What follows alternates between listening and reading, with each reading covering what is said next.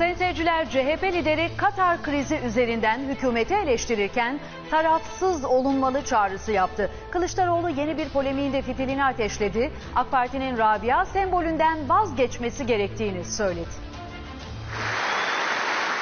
bereket ayında, mağfiret ayında İslam dünyasının kendi içine düştüğü çelişkiye bakın.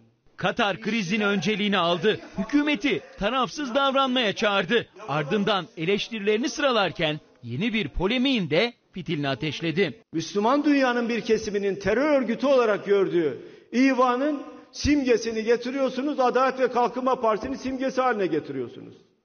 Hani bunun yerlisi, hani bunun millisi?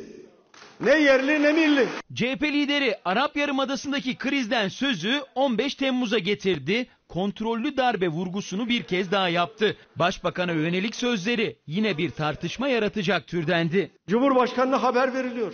MİT'in haberi var, Genelkurmay'ın haberi var. Hiç kimsenin aklına gelmiyor. Ya şu Binali Yıldırım'a da bir telefon edelim, ona da bilgi verelim diye. Ben bunu soruyorum diye. Kılıçdaroğlu FETÖ'cüleri destekliyor diyorlar. Hayır efendim.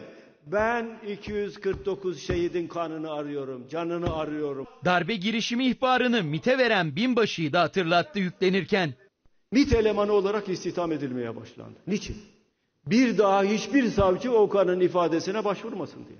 15 Temmuz sonrası tutuklanan 20 yaşındaki Biler'in mektubunu okurken gözyaşlarını tutamayanlar oldu CHP salonunda. Darbenin siyasi ayağı ortaya çıkarılmalı dedi. Darbenin siyasi ayağı ortaya çıkıncaya kadar her türlü mücadeleyi yapmaya Türk milletine söz veriyorum. Hepinize söz veriyorum.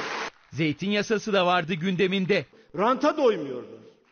Ya siz zeytin ağacından ne istiyorsunuz? Zeytinden ne istiyorsunuz?